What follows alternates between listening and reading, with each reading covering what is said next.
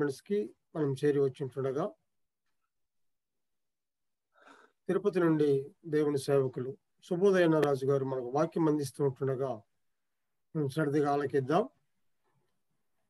ఈ సమయాన్ని దేవుని సేవకులు శుభోదయన రాజు గారికి అప్పగిస్తుంటారు అన్న వందనాలన్న. అన్నా వందనాలన్నా. దేవుని వాక్యం మనము చదువుకుందాం.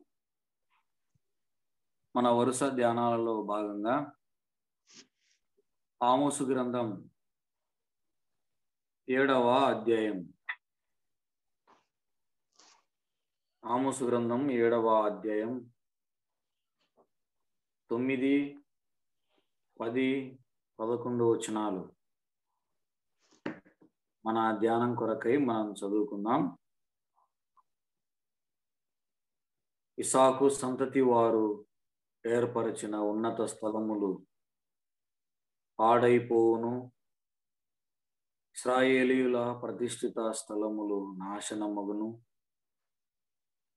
నేను ఖడ్గము చేత పట్టుకుని ఎరోబాము ఇంటి వారి మీద పడుదును. అప్పుడు బేతేలు లేను యాజకుడైన అమధ్య ఇస్రాయేలు రాజైన ఎరోబామునకు వర్తమానము పంపి ఇస్రాయేలీల మధ్య ఆమోసు నీ మీద కుట్ర చేయుచున్నాడు. ఎరోబాము ఖడ్గము చేత చచ్చుననియు. ఇస్రాయేలీలు తమ దేశమును విడిచి చెరలోనికి పోవుదురనియు ప్రకటించుచున్నాడు. అతని మాటలు దేశము సహింపజాలదు అని తెలియజేసెను. పన్నెండవ వచనం. మరియు అమధ్య ఆమోసుతో ఇట్లనను దీర్ఘదర్శి తప్పించుకుని యూదా దేశమునకు పారిపోము. అచటనే భత్యము సంపాదించుకొను. అచటనే నీ వార్త ప్రకటించుము. ప్రియులారా ఆమోసు గ్రంథములో నుండి దేవుని మహాకృప చేత గత కొన్ని సంవత్సరాలుగా మనం వరుసగా ధ్యానం చేస్తూ ఉన్నాం. తన మహాకృపను బట్టి ఏడవ అధ్యాయం వరకు మనము రాగలిగాం. ఇక రెండు అధ్యాయాలు మాత్రమే ఈ గ్రంథంలో ఉన్నాయి. వాటిని కూడా మనం సజావుగా ధ్యానం చేయాలని ఆశపడదాం. చిన్న మనవి. వీలున్న వారందరూ దయచేసి మీ యొక్క వీడియోలు ఆన్ చేసుకోవాలని మనవి చేయుచున్నాను. క్లాసుకు అటెండ్ అయిన వారు తప్పకుండా మీ యొక్క వీడియోలు ఖచ్చితంగా ఆన్ చేసుకోవాలి. మీరు ఏ పరిస్థితిలో ఉన్నారో వీడియోల ద్వారా చూడడానికి వీలవుతుంది కనుక దయచేసి మీ యొక్క వీడియోలు ఆ క్లిష్టమైన పరిస్థితి హాస్పిటల్లో ఉండడము డ్యూటీల్లో ఉండడం అయితే అలా ఉండొచ్చు కానీ ఇళ్ళలో ఉంటూ దేవుని వాక్యాన్ని వినడానికి వచ్చిన మనం వీడియోలు ఆఫ్ చేసుకోవడం అనేది కొంత అభ్యంతరకరమే. కనుక అందరూ పెద్దవారే ఉన్నారు దయచేసి మీ యొక్క వీడియోలు మీరు ఆన్ చేసుకోవాలని మనవి చేయుచున్నారు ఏడవ అధ్యాయం ఆమోసు యొక్క ప్రార్థనలతో ప్రారంభమైంది అని మనం ధ్యానం చేయగలిగాం. ఆరవ అధ్యాయం వరకు ఆమోసు ప్రార్థన చేసినట్లుగా ఎక్కడ మనం ధ్యానం చేయలేదు. అయ్యో మీకు శ్రమ అని ఆరవ అధ్యాయం ప్రారంభంలో నాయకులైన వారలారా గోత్రానికి పెద్దలైన వారులారా మీ క్రింద ఉన్న ప్రజలను తప్పు ద్రోవ పట్టిస్తున్న వారలారా వారి తప్పులను సమర్థిస్తున్న వారలారా మీకు శ్రమ అయ్యో మీకు శ్రమ అని ఆరవ అధ్యాయం ప్రారంభంలో మాట్లాడాడు. పై విచారణ చేయుచున్న వారలారా మీ ఎదుట తప్పులు జరుగుతూ ఉన్నను. వాటిని సరిదిద్దవలసిన విచారణ కర్తలారా మీకు కూడా శ్రమ అని ఆరవ అధ్యాయం ప్రారంభంలో మాట్లాడినాడు ఆమోసు. ఎక్కడ ఇస్రాయేలీల నిమిత్తమై ప్రార్థన చేసినట్టుగా మనం ధ్యానం చేయలేదు. అయితే ఏడవ అధ్యాయంలో మూడు తెగుళ్ళు. మూడు దర్శనాలలో దేవుడు ఆమోసుకు చూపించగా భయంకరమైన తెగుళ్ళు. అవి ఐగుప్తు మీదికి వచ్చినట్లుగా కనబడుతున్నాయి. ఇస్రాయేలీల మీద కూడా రాబోతున్నాయని దేవుడు చూపించాడు. ఇలాంటి తెగుళ్ళు ఇస్రాయేలీల మీదకి పంపిస్తే యాకోబు సంతతి వారు చాలా కొద్ది జనము కలిగిన వారు ప్రభువా. దయచేసి అన్నాడు. దయచేసి దయయుంచి వాటిని ఆపివేయమని మని చే మనవి చేయగా. యహోవా పశ్చాత్తాపడి యహోవా పశ్చాత్తాపడి అనే విషయాలు రెండు దర్శనాలలో మనము ధ్యానం చేయగలిగాం. ఇక మూడవ దర్శనం మట్టపు గుండు. గోడ సరిగా ఉన్నదో లేదో నేను మట్టపు గుండు వేసి చూస్తాను. నేను గోడ మీద నిలవబడి మట్టపు గుండు వేస్తాను. ఆమోసు. ఇక నేను ఆగను నువ్వు పక్కకు తప్పుకో. నేను మట్టపు గుండు వేస్తాను. ఈ మట్టపు గుండుకు సరిగా కనబడ్డారో కనబడినట్లు. లేదంటే నేనిక వారిని విడిచిపెట్టను. నేనిక వారిని విడిచిపెట్టను అన్నాడు మూడవ దర్శనంలో. తొమ్మిదవ వచనంలో ఇసాకు సంతతి వారు అన్నాడు. మొదటి దర్శనంలో యాకోబు సంతతి వారు అన్నాడు. ఎట్లా మాట్లాడుకున్నా పన్నెండు గోత్రాల ప్రజలు అని మనం మనస్సులో పెట్టుకోవాలి. ఇసాగు సంతతి వారు అన్నా ఇస్రాయేలీయులే. యాకోబు సంతతి వారు అన్నా ఇస్రాయేలీయులే. టోటల్గా పన్నెండు గోత్రాల ప్రజల మీదికి రాబోతున్న ఈ నష్టాలను దర్శన రీతిగా ప్రవక్త అయిన ఆమోసుకు దేవుడు చూపించాడు. నేను పాడు చేస్తాను వారి యొక్క ఉన్నత స్థలం. ప్రతిష్ఠిత స్థలములను నేను పాడు చేస్తాను. నేను నాశనం చేస్తాను. ఇంత విరోధంగా బతుకుతున్నారా? ఇంత విరోధంగా వారు జీవిస్తున్నారు? నువ్వు ఎంత చెప్పినా వారు సర్దుకోలేదు ఆమోసు ఇక నేను నాశనము చేయబోతున్నాను అని ప్రవక్త అయిన ఆమోసుకు దర్శన రీతిగా దేవుడు చూ దేవుడు ఏదైనా చేయాలనుకున్నప్పుడు తప్పకుండా ఆయన చెప్పే చేస్తాడు. చెప్పకుండా ఏది చేయడు. నేను అబ్రహాముకు చెప్పకుండా ఉందునా? నా స్నేహితుడైన అబ్రహాముకని అబ్రహాముకు వివరించాడు సుధమ గుమరలకు చేయవలసినది అబ్రహాముకు తెలియజేసి. నేను చెప్పకుండా చేస్తానా? ఆయన ఎన్నటికీ చెప్పకుండా ఏది చెయ్య రక్షకుడు ఉదయిస్తాడు అని చెప్పాడు. వచ్చాడు. తిరిగి రెండవ రాకడలో నేను రాబోతున్నాను అన్నాడు. ఆ చివరి గడియలలోనే మనం ఉన్నాం. ఆ చివరి కాలములలోనే సంఘం ఉన్నది ఇప్పుడు. ర్యాప్చర్ ఈజ్ వెరీ నియర్ ఎత్తబడే కాలములో మనం ఉన్నాం. మొదటిసారి ఆయన వచ్చాడు అన్నది ఎంత నగ్న సత్యమో. రెండవసారి ఆయన రాబోతున్నాడు అన్నది అంతకంటే పచ్చి నగ్న సత్యం.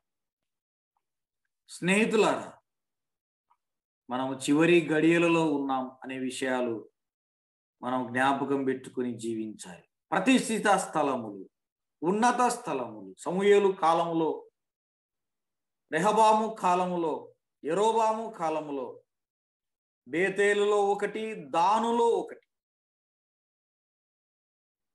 దూడలు నిలిపారు. అవే నేటి వరకు వారికి ప్రతిష్ఠిత స్థానాలై కూర్చున్నాయి. అవే వారికి ఉన్నతమైన స్థానాలై కూర్చున్నాయి. ఒకప్పుడు ఆరాధనా స్థలాలే. బేతేలులో ఒకప్పుడు ఆరాధించే వారి ఇస్రాయేలు రాను రాను రాను రాను రాను రాను. అవి విగ్రహ స్థానాలై కూర్చున్నాయి.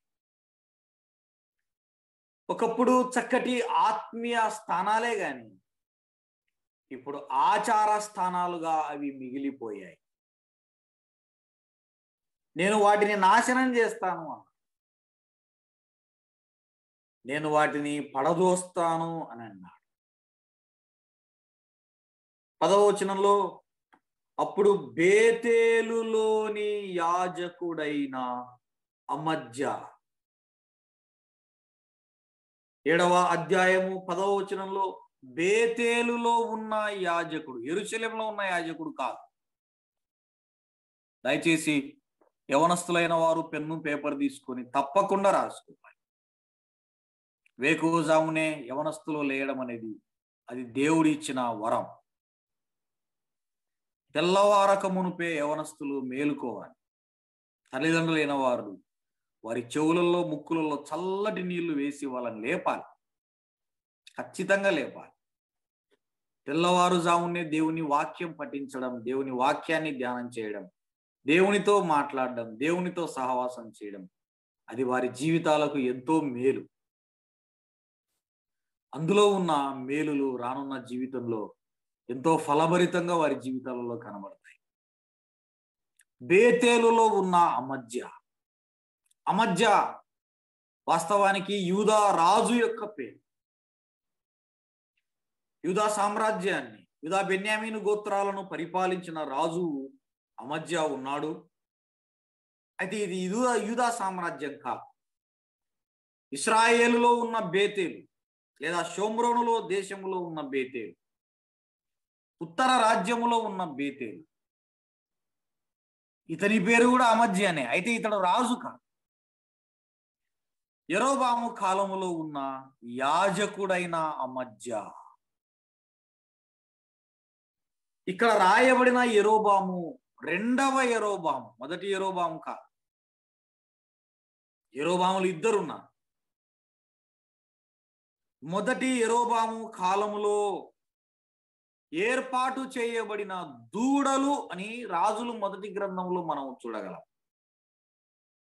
ఒక మారు ఆ వచనం మనం చదువుకుందాం. రాజులు మొదటి గ్రంథం పన్నెండవ అధ్యాయము ఇరవై ఐదవ వచనంలో రాజులు మొదటి గ్రంథం పన్నెండవ అధ్యాయము ఇరవై ఐదవ వచనం. పన్నెండవ అధ్యాయము ఇరవై ఐదవ వచనంలో పన్నెండవ అధ్యాయము ఇరవై ఐదవ వచనం. తరువాత ఎరోబాము ఎఫ్రాయిము మన్యమందు షకేమును పట్టణము కట్టించి అచ్చట కాపురం ఉండి అచ్చట నుండి బయలుదేరి పెనుయేలును కట్టించెను.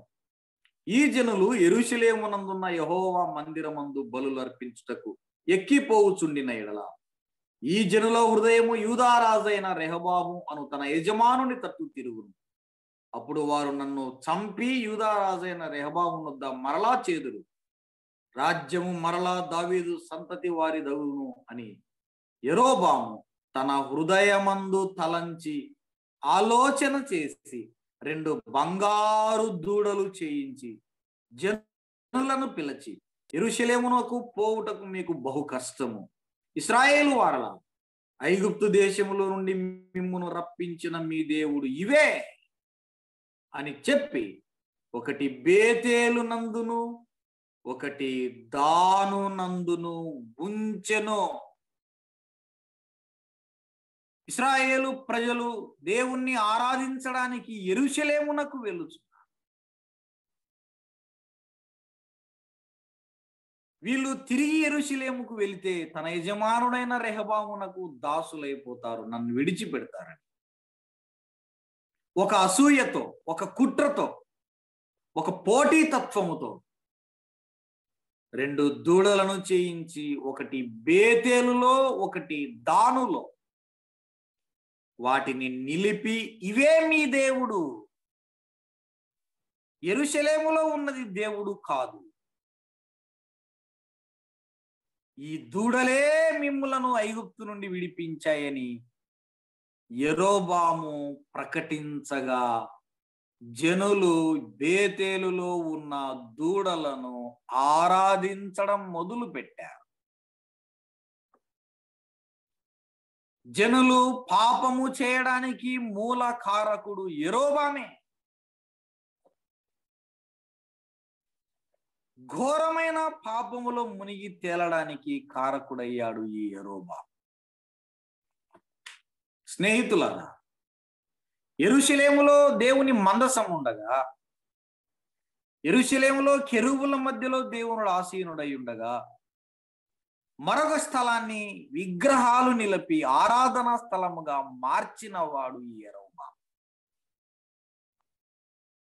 అంత మాత్రమే కాదు జనులు ఐగుప్తు దేశము నుండి విడిపించిన దేవుడు ఇవే అని చెప్పి దాను వరకు ఈ రెంటిలో ఒక దానిని జనులు పూజించడం వలన రాజు చేసిన కార్యము పాపమునకు కారణమాయను.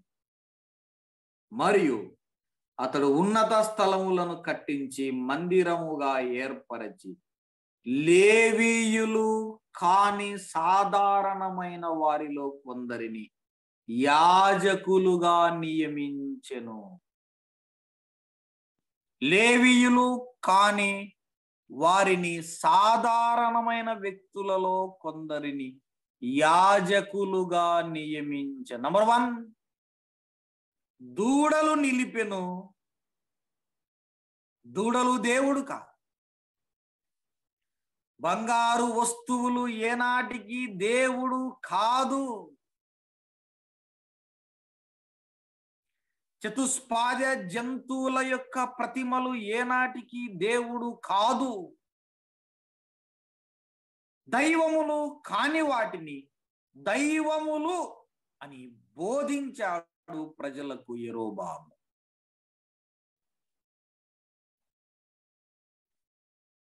ప్రియులారా అసత్యాన్ని ప్రజల మీద రుద్దిపోశాడు సత్యాన్ని కాదు.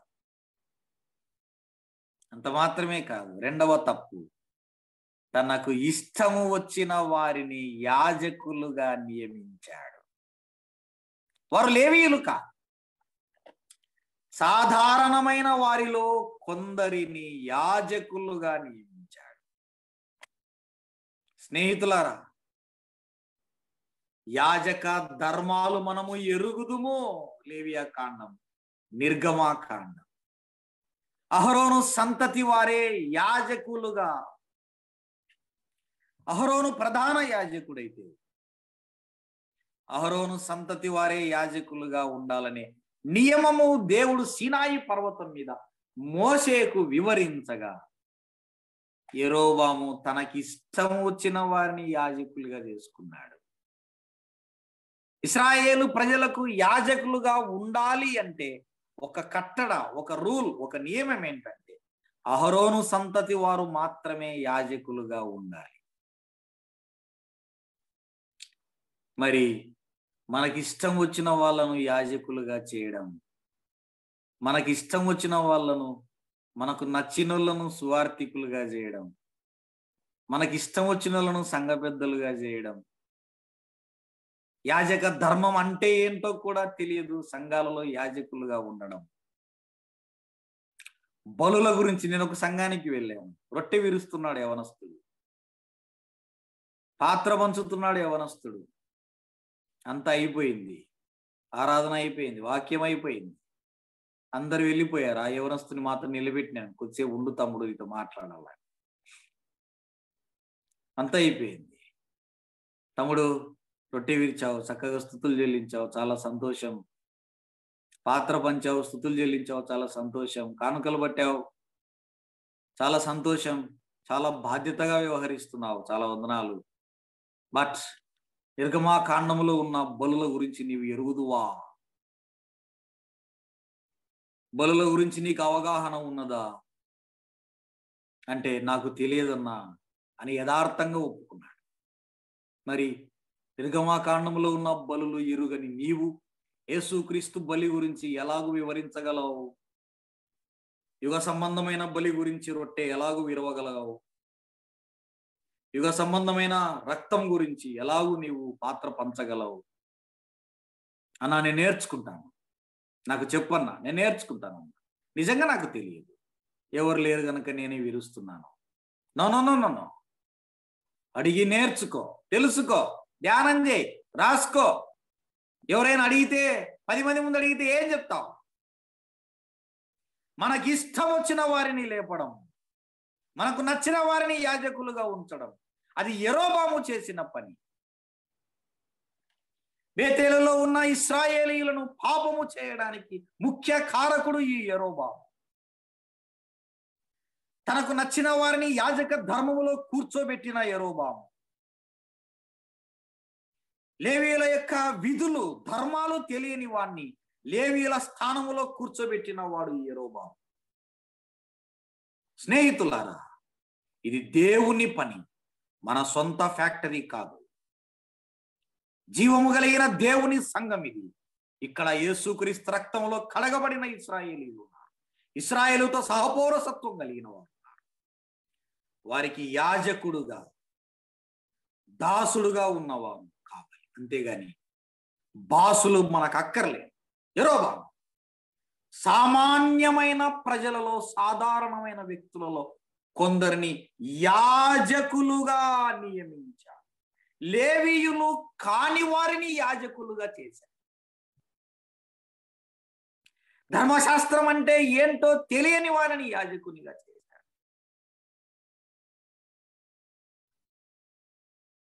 యాజకత్వం అంటే ఏంటో తెలియని వాడు. ప్రవక్తను ఎలాగూ గుర్తుపట్టగలడు. యాజక ధర్మాలంటే ఏంటో తెలియని వాడు. నిజమైన ఆత్మీయులను ఎలాగూ గుర్తుపట్టగలడు సంఘములో. నిజమైన విశ్వాసులను ఎలాగూ గౌరవించగలడు సంఘములో. వాక్యము తెలియని వాడు సంఘములో హోదాలు అనుభవిస్తే విశ్వాసుల పరిస్థితి ఏంటి? ఆత్మీయుల పరిస్థితి ఏంటి? వాడు ఎలాగూ గౌరవించగలడు ఆత్మీయులను పెద్దలను సేవకులను పరిచారకులను విశ్వాసులను కుటుంబీకులను యవనస్తులను సహోదరి సహోదరులను? సంఘాలలో అధికార దాహం కాదు మనకు కావాల్సింది.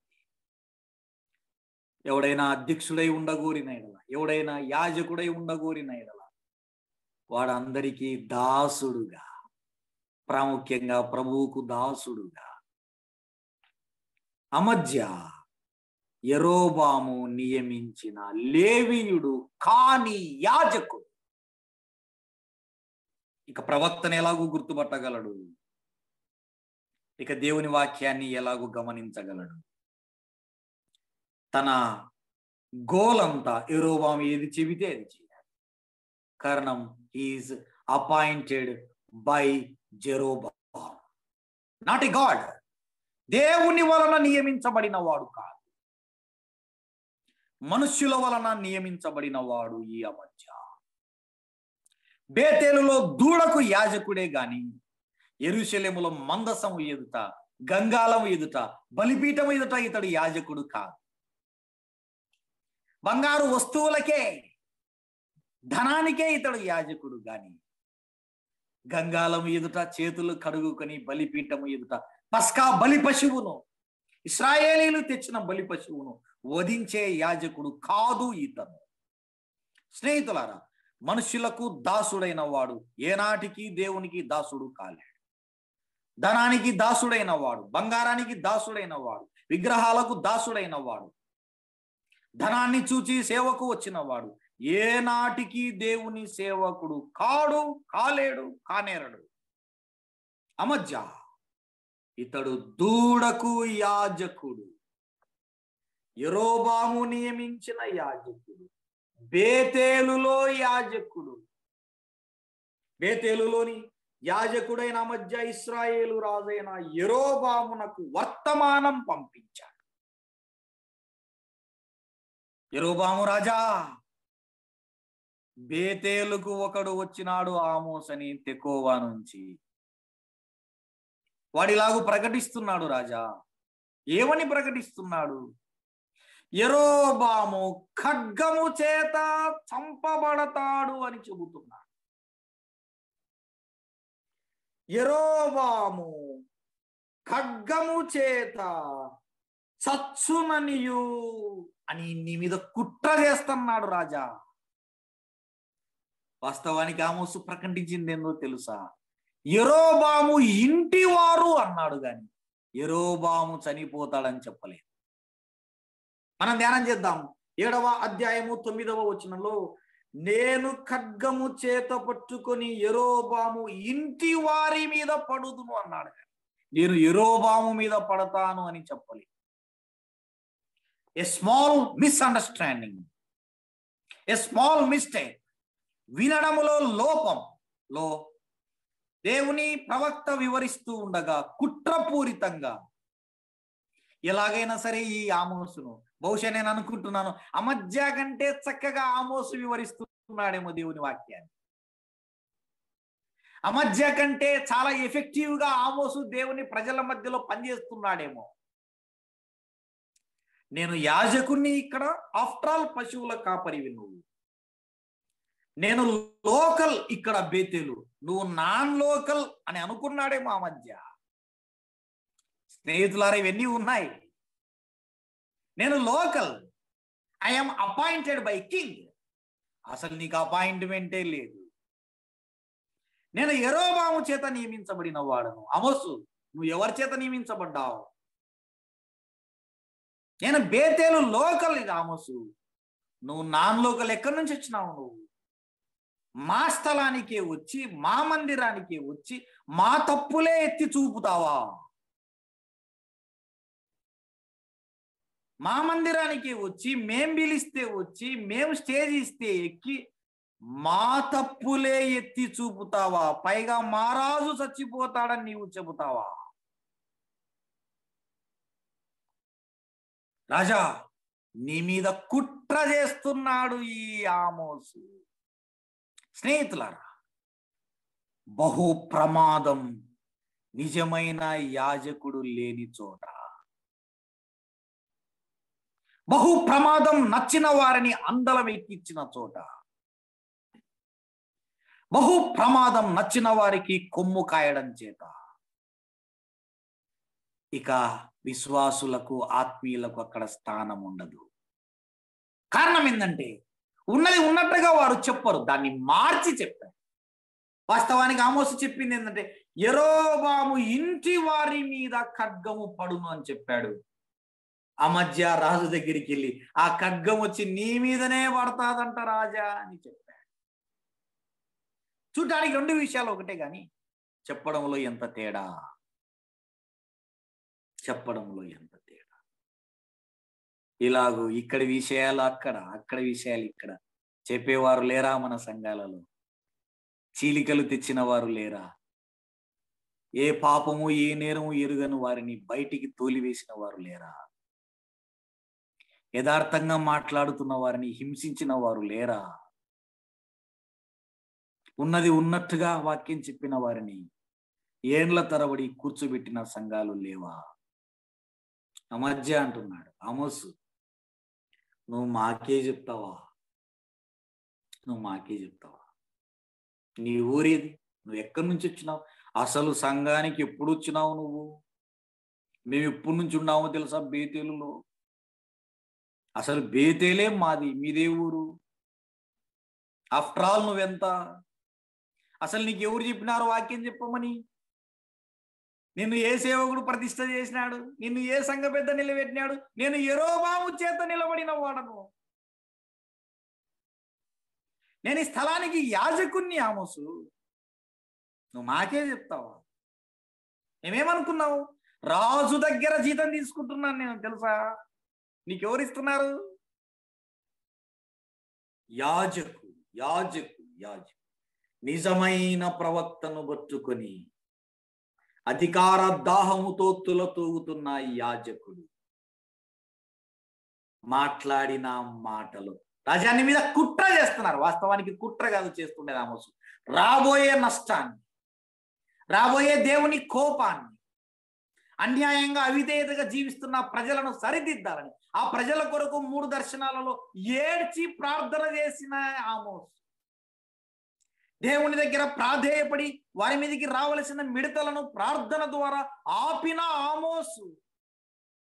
బహుఘోర నష్టము జరగకుండా దేవుని పాదాలను పట్టుకొని దేవుని హృదయాన్ని తిప్పివేసిన ఆమోసును పట్టుకొని ప్రార్థనా పరుడైన ఆమోసును ప్రవక్త అయిన ఆమోసును దేవుడు పంపిన ఆమోసును.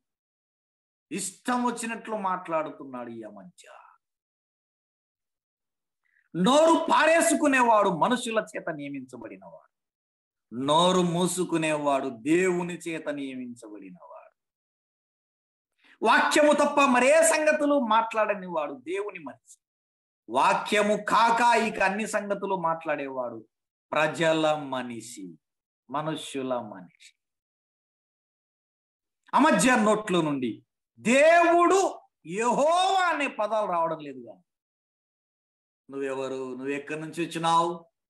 మర్యాదగా ఈ బేతేలను వదిలి వెళ్ళు. నువ్వు డబ్బు కోసం బేతేలకు వచ్చి వాక్యం చెప్తున్నావేమో? నువ్వు నీ ఊరికి వెళ్ళు.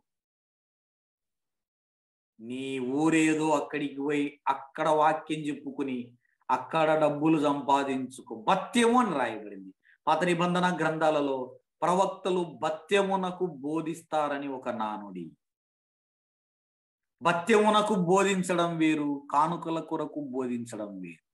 కానుక వేరు భత్యము వేరు. ప్రకటన గ్రంథం మొదటి అధ్యాయము ఆరవ వచనంలో యాజకుడు యాజకుడు అనే పదం కొత్త నిబంధనలో యాజకుడు అనగా ఎవరు? పాత నిబంధనలో అహరోను సంతతి వారే యాజకులైతే కొత్త నిబంధన గ్రంథములో యాజకుడు అనగా ప్రకటన గ్రంథం మొదటి అధ్యాయము ఆరవ వచనంలో ఆ మరియు మొదటి అధ్యాయము ఆరవ వచ్చిన మనలను ప్రేమించుచు తన రక్తము వలన మన పాపముల నుండి మనల్ని విడిపించిన వానికి మహిమయు ప్రభావమును యుగ యుగములు కలుగును గాక. ఆమెన్ ఆయన మనలను మన తండ్రి దేవునికి ఒక రాజ్యముగాను యాజకులుగాను ఎవరైతే యేసుక్రీస్తు రక్తములో కడగబడతారు నిజమైన పశ్చాత్తాపము అనే అనుభవం కలిగినవా నా పాపాలన్నీ యేసుక్రీస్తు తుడిచి వేచాడని వీధులలో నిలబడి చెప్పగలిగినవా అయ్యా ఘోరమైన పాపినైన నన్ను నా రక్షకుడైన యేసుక్రీస్తు తన రక్తములో కడిగి వేశాడని బహిరంగ సాక్ష్యం ఇచ్చేవాడే యాజకుడు. ఇంట్లో కూర్చునేవాడు కాదు. నన్ను యేసుక్రీస్తు రక్షించాడు. మనలను యాజకులుగా ఇప్పుడు అహరోను సంతతి వారే యాజకులుగా ఉండాల్సిన కాలం కాదు.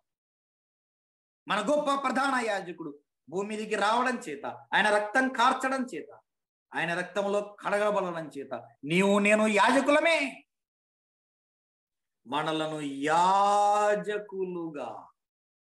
పేతురు రాసిన మొదటి పత్రిక రెండవ అధ్యాయము ఐదవ వచనంలో పేతురు రాసిన మొదటి పత్రిక రెండవ అధ్యాయము ఐదవ వచనం ఐదవ వచనం. పేతురు రాసిన మొదటి పత్రిక రెండవ అధ్యాయము ఐదవ వచనం యేసు క్రీస్తు ద్వారా దేవునికి అనుకూలములకు ఆత్మ సంబంధమైన బలులు అర్పించుటకు పరిశుద్ధ యాజకులుగా ఉండునట్లు మీరు సజీవమైన రాళ్ళ వలె నుండి ఆత్మ సంబంధమైన మందిరముగా కట్టబడుచున్నారు. పరిశుద్ధతను కాపాడుకున్న వారే యాజకులు. సజీవమైన రాళ్ళ వలె మందిరములో ఉన్నవారే యాజకులు. వ్యాపారాలలో ఉన్నవారు యాజకులు కాదు. డబ్బు కోసం వారమంతా పాకులాడేవాడు యాజకుడు ఏనాటికి కాదు. లేచింది మొదలు రాత్రి వరకు ధనము ధనము ధనము డబ్బు డబ్బు డబ్బు అని డబ్బులు డబ్బులు డబ్బులు అనేవాడు మందిరములో యాజకుడు ఏనాటికి కాదు. వారమంతా ఆత్మ సంబంధమైన కార్యాలలో మునిగి తేలేవాడు. ఆమోస్ వారమంతా ఎరోబాము మెప్పు కోసం పాకులాడేవాడు అమధ్య వారమంతా దేవుని కార్యాలు చేసేవాడు దేవుని ప్రజల కొరకు పాటుపడేవాడు దేవుని ప్రజల కొరకు కన్నీరు విడిచేవాడు ఆమోసు. మిడతలు రాకుండా అడ్డుపడిన వాడు ఆమోసు. అగ్ని రాకుండా అడ్డుపడిన వాడు ఆమోసు తన ఆలోచనలన్నీ దేవుని ప్రజల మీదనే ఉంచిన వాడు యాజకుడైతాడు తన ఆలోచనలన్నీ రాజు మెప్పు కోసం రాజు మెప్పు కోసం రాజు దగ్గర మంచి ప్రశంసల కోసం రాజును నవ్వించడం కోసం రాజును పొగడడం కోసం పొద్దున్న లేచినా ఉంచి రాజు చుట్టూ తిరిగేవాడు. రాజుకు యాజకుడు అవుతాడు కానీ దేవునికి యాజకుడు కాడు. పరిశుద్ధతను కాపాడుకునే పరిశుద్ధ యాజకులుగా ఉండునట్లు. ఆర్ మెయింటైనింగ్ హోలీనెస్ అతడే యాజకుడుగా మనగలగలి. అతడే యాజకుడుగా సంఘంలో సంచరించాలి. ఏ ఒక్క విశ్వాసి అయినా పాయింట్ అవుట్ చేశాడంటే అతడు సంఘంలో యాజకుడు కాదు. అతడు సంఘంలో పరిచారకుడు కాదు. ప్రియులారా బేతేలులో ఉన్న ఎరోబాము నియమించుకున్న యాజకుడు ఆమెన అమధ్య ప్రవక్తతో మాట్లాడుతున్నాడు. నీవు మా ఎరోబాము మీద కుట్ర చేయనికొచ్చావా? రాజాన్ని మీద కుట్ర చేస్తున్నాడు. వాస్తవానికి ఆమోసు ప్రకటించింది. ఎరోబాము ఇంటి వారి మీద అన్నాడు. మనం ధ్యానం చేయగలిగితే దినవృత్తాంతములు రెండవ గ్రంథం. తర్వాత కాలములో ఎరోబాము ఇంటి వారే చెరకు వెళ్ళారని. ఎరోబాము వెళ్ళినట్లుగా మనము చూడలేము. ఎరోబాము ఇంటి వారి మీద నేను ఖడ్గము చేత అన్నాడే గాని ఎరోబాము మీద అన్నవాడు కాదు. ఎలాగైనా సరే ఈ ఆమోసును తరిమి వేయాలనుకున్నాడు ఎలాగైనా సరే ఈ ఆమోసు గొంతు నొక్కాలని అనుకున్నాడు. ఎలాగైనా సరే ఈ ఆమోసు నోరు మూయించాలనుకున్నాడు. ఎలాగైనా సరే ఈ ఆమోసును తన దేశానికి పంపివేయాలని కుట్ర పన్నింది ఆమధ్య వాస్తవానికి కుట్ర చేసింది ఆమధ్య కానీ రాజు దగ్గరికి వెళ్ళి ఆమోసు కుట్ర చేస్తున్నాడని చెబుతున్నాడు స్నేహితులారా చెప్పుడు మాటలు వినిన ఎరోబా చెప్పుడు మాటలు వినడానికి అలవాటు పడిన ఎరోబా నా మాట వింటున్నాడు కదా అని. ఎన్ని మాటలైనా చెప్పడానికి సిద్ధపడిపోయిన యాజకుడు అని పిలువబడుతున్న ఆ మధ్య. యాజకుడు అని పిలువబడుతున్న ఆ మధ్య.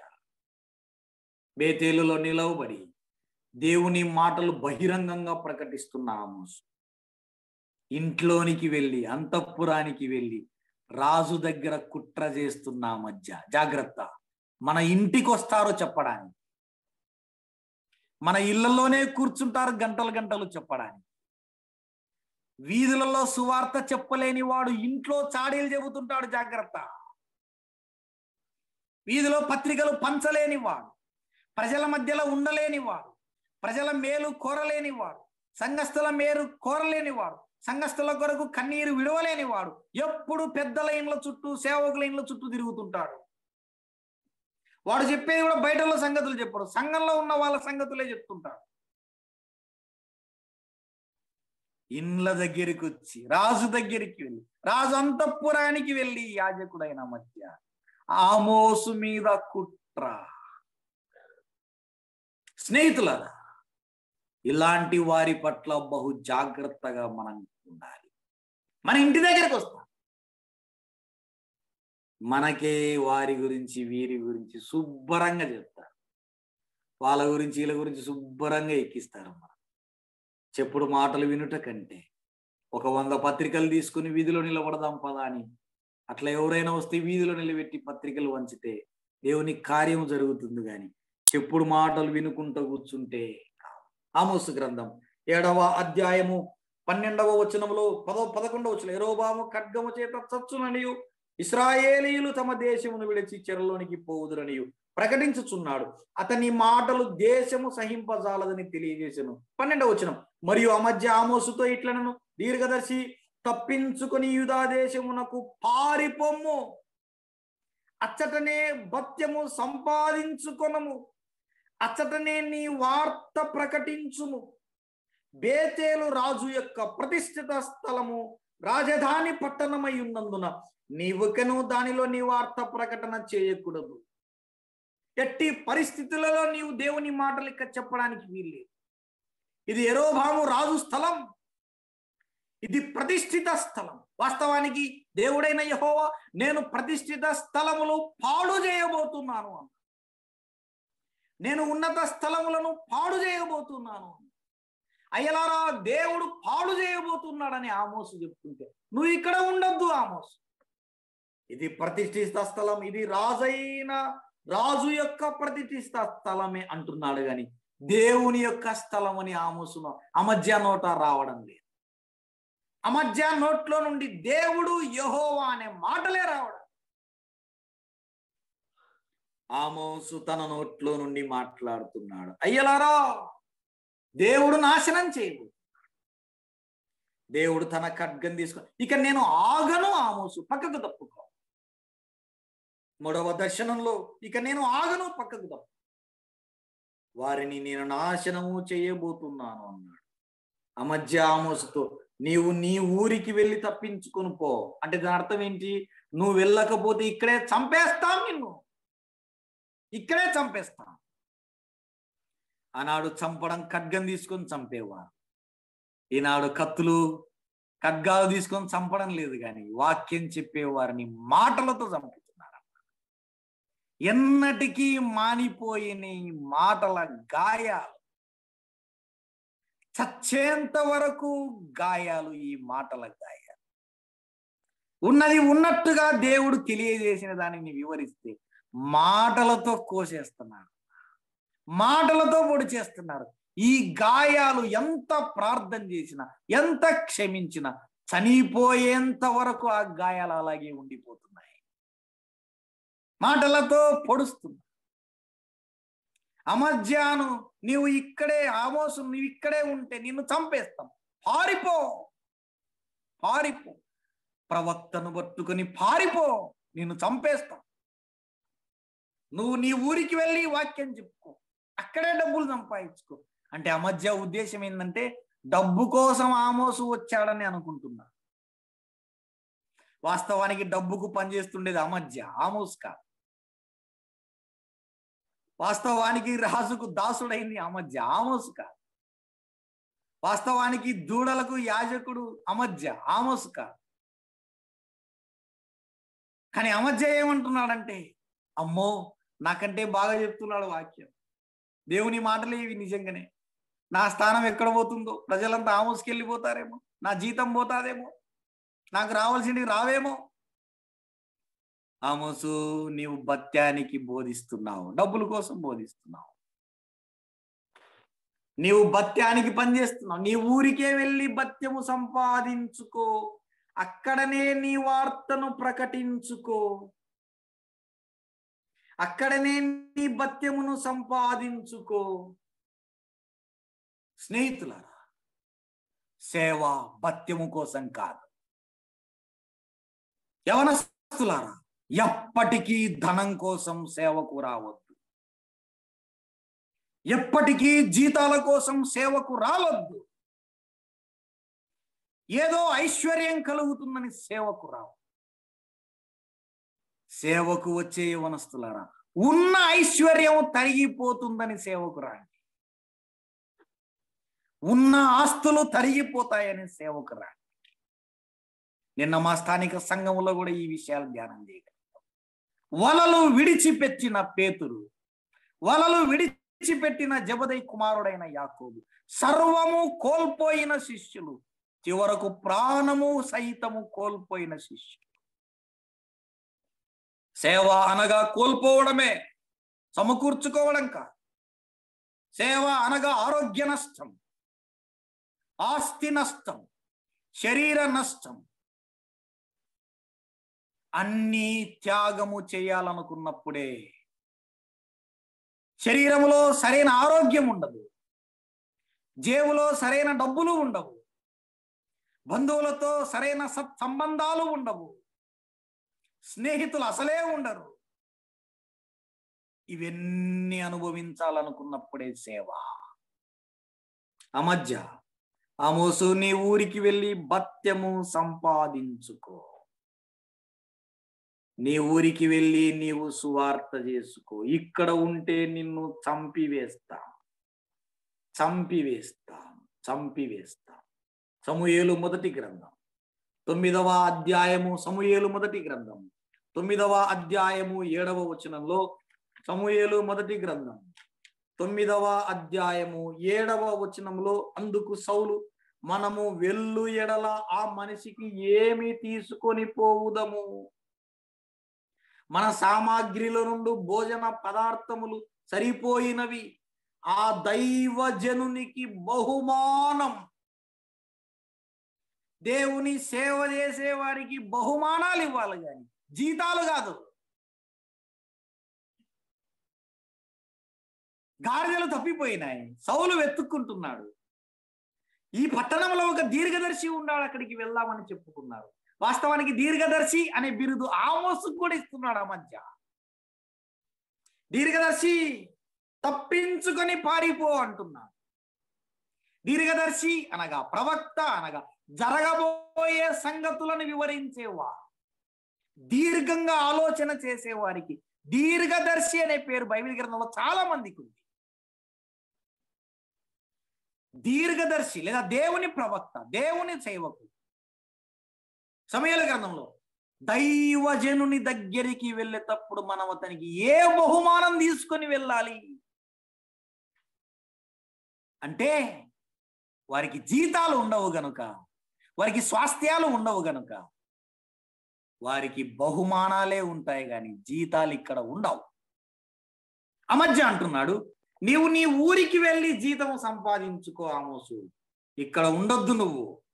స్నేహితులారా సేవకులకు ఉండాల్సింది బహుమానాలే గాని జీతాలు ఉండవు. దేవుని సేవకు జీతము లెక్కగట్టగలిగేంత జ్ఞానం ఉన్నదా మానవునికి?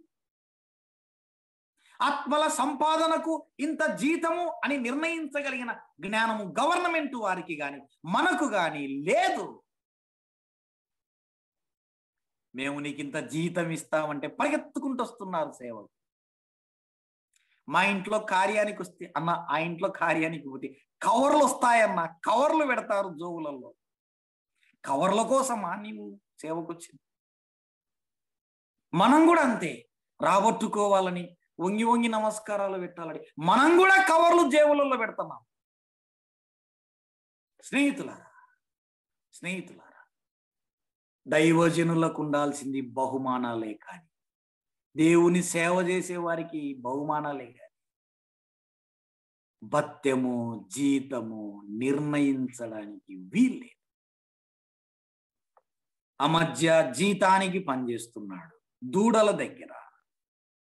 ఆమోసు ఇస్రాయేలీయుల రక్షణ కొరకు పనిచేస్తున్నాడు. ఇస్రాయేలీయుల మేలు కొరకు పనిచేస్తున్నాడు.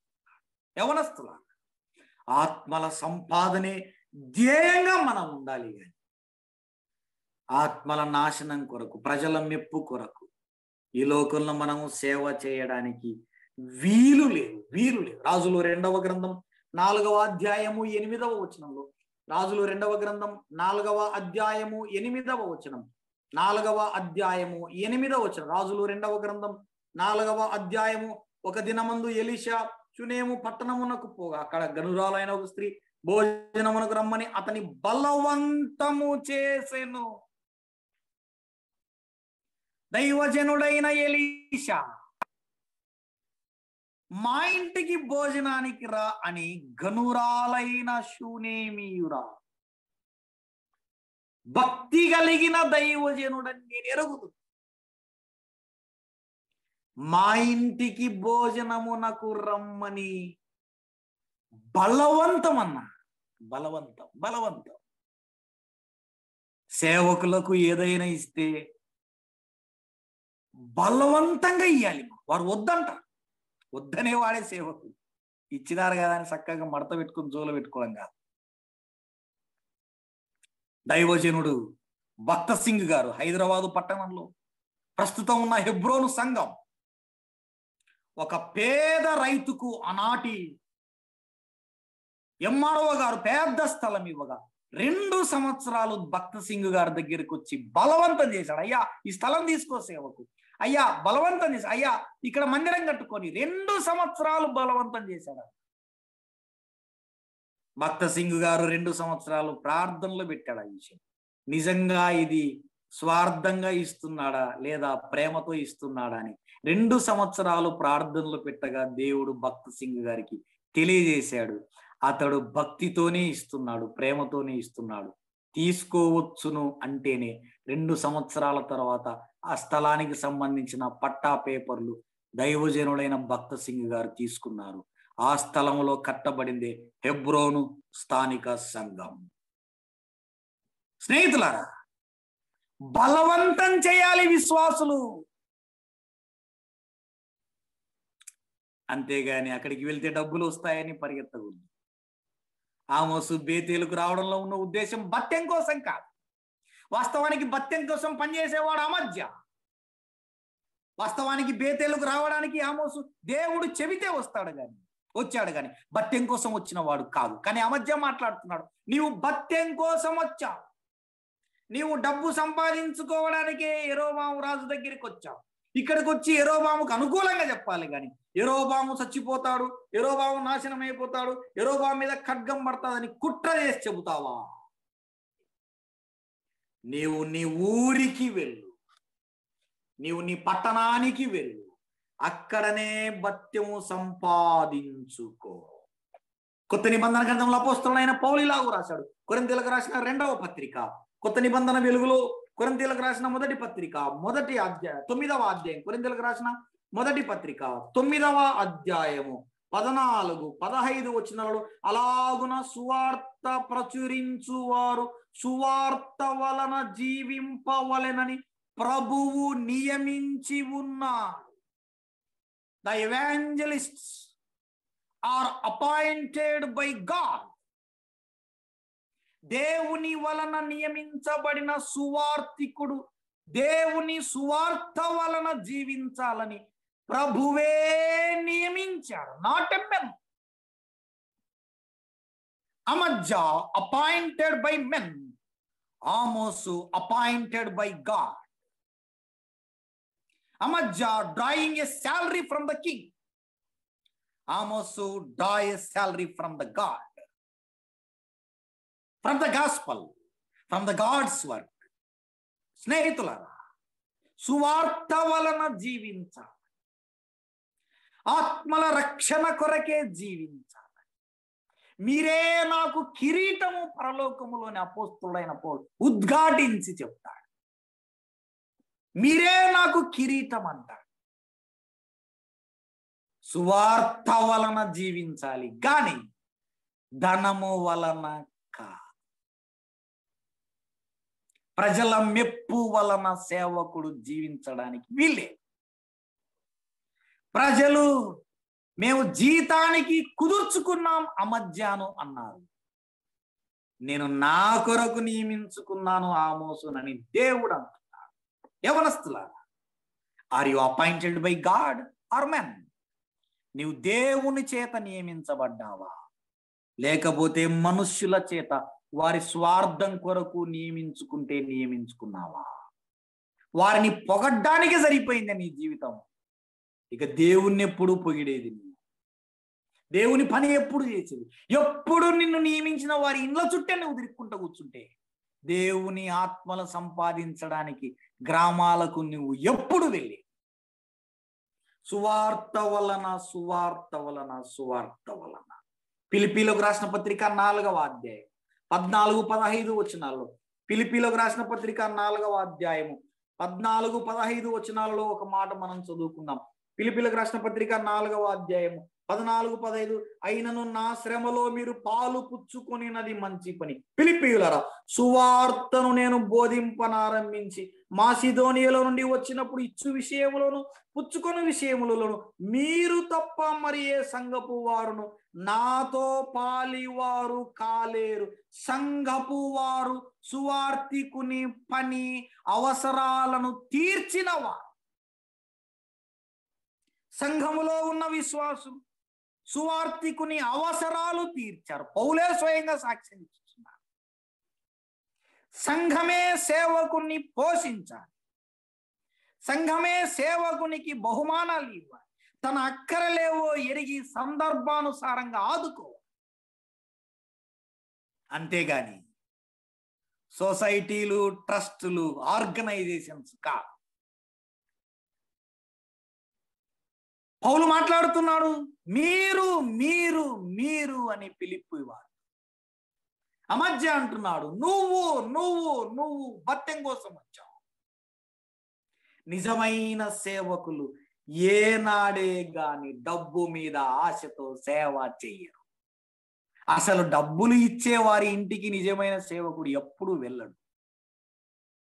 అస్సలు వెళ్ళడు. మేము ఎరుగుదుము. నంద్యాల స్థానిక సంఘంలో ఉండగా డబ్బు ఉన్న ఇంటికి సేవకుడు ఎప్పుడో ఒకసారి వెళ్తాడు. డబ్బులు లేని ఇంటికి సేవకులు తరచుగా వెళ్తుంటారు. తరచుగా వెళ్తుంటారు. మా ఇంటికి ఎప్పుడు సేవకులు వచ్చేవారు? ఎప్పుడు వచ్చేవారు? మా దగ్గర కొన్ని కొన్నిసార్లు ఏమీ ఉండేది కాదు.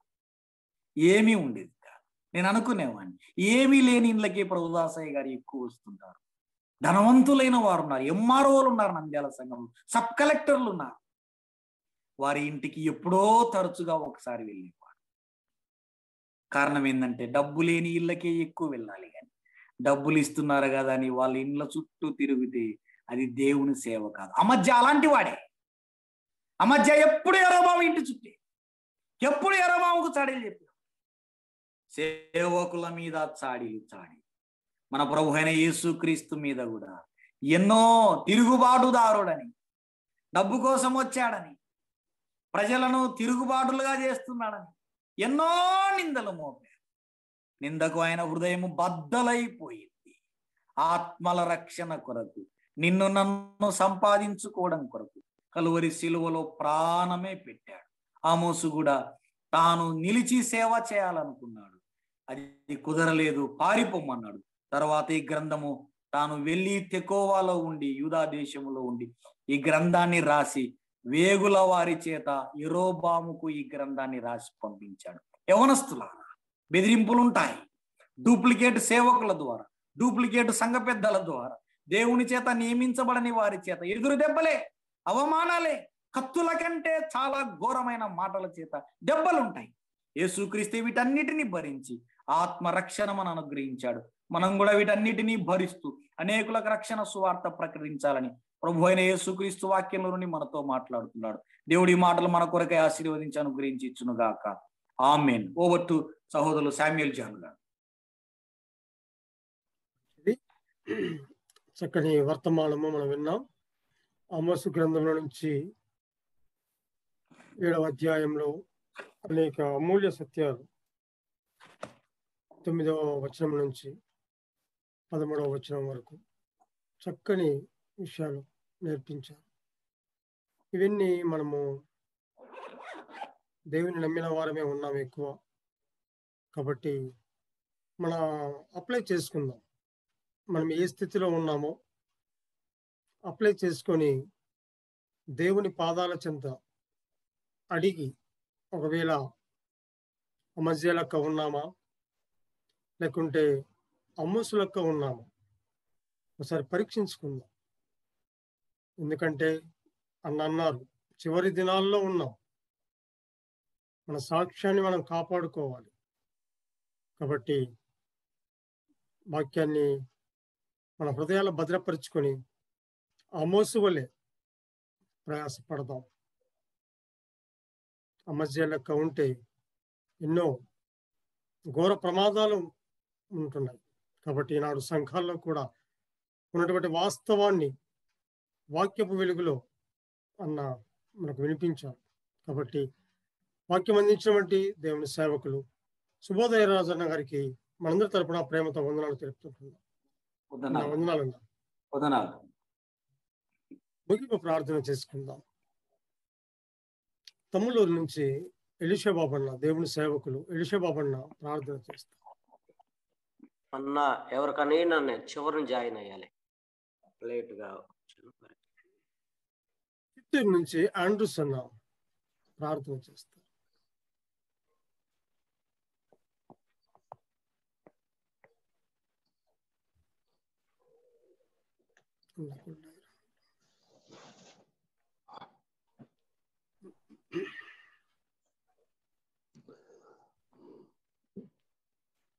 ఆండ్రూస్ అని అన్మిట్ అవ్వలేదమ్మా. ఫ్రమ్ దేవదాస్ దేవదాస్ అన్న గారు ప్రార్థన చేస్తారు ముగింపు ప్రార్థన.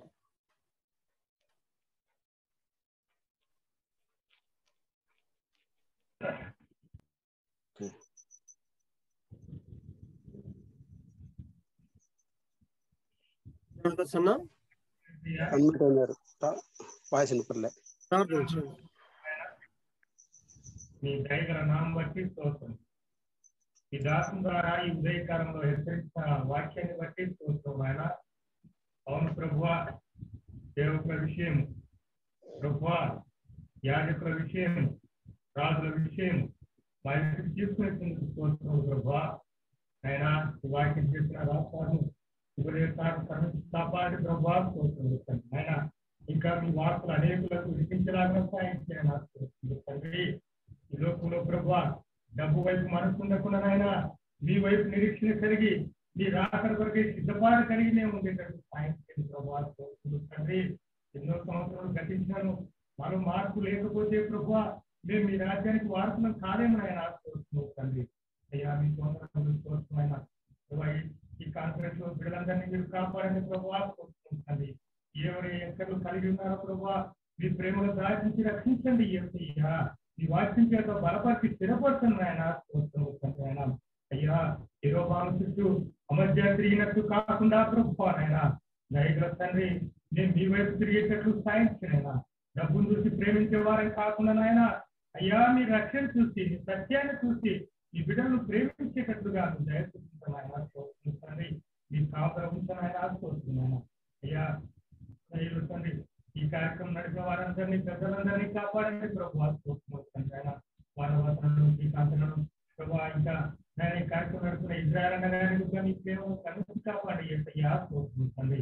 ఉదయకాలం గురించి వాక్య సందేశాన్ని బట్టి కోరుతుంది ఈ దినమంతా మీ కాపులు ఉంచుకొని ప్రభా మీ చిత్రం మేము మరొకసారి అందరం కలుపుకునేనా ఈ మాటల్ని ప్రభా మేమందరం ఆత్మీయంగా బలము సాయం చేయమని ఏస్తున్నాము అడిగి వేడుకుంటున్నాం తండ్రి.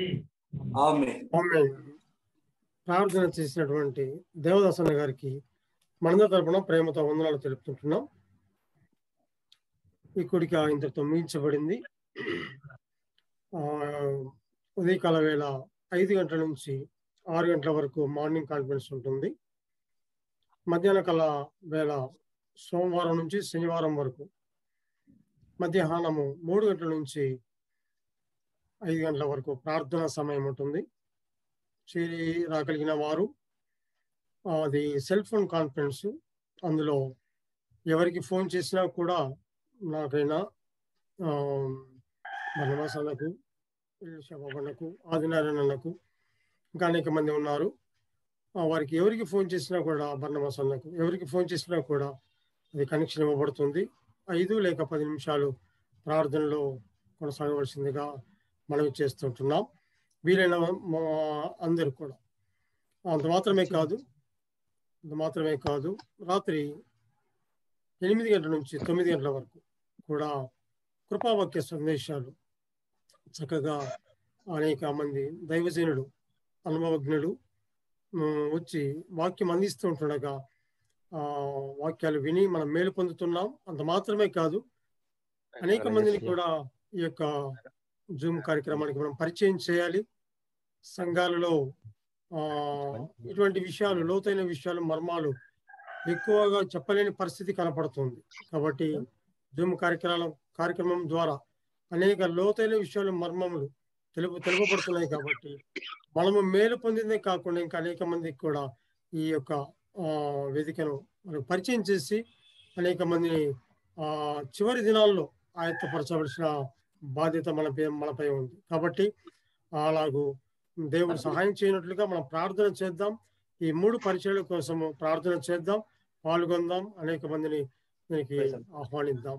ఈ యొక్క సమయం ఇచ్చినటువంటి పెద్దలకి కూడా వందనాలు తెలుపుతూ ఆ యొక్క కూడిక ముగించబడింది. కాబట్టి దైవజనులు శుభోదయ రాజన్న గారికి వందనాలు చెప్తూ ఒకరికొకరు వందనాలు చెప్పుకొని మనం ఈ కూడిక మనం ముగించుకుందాం.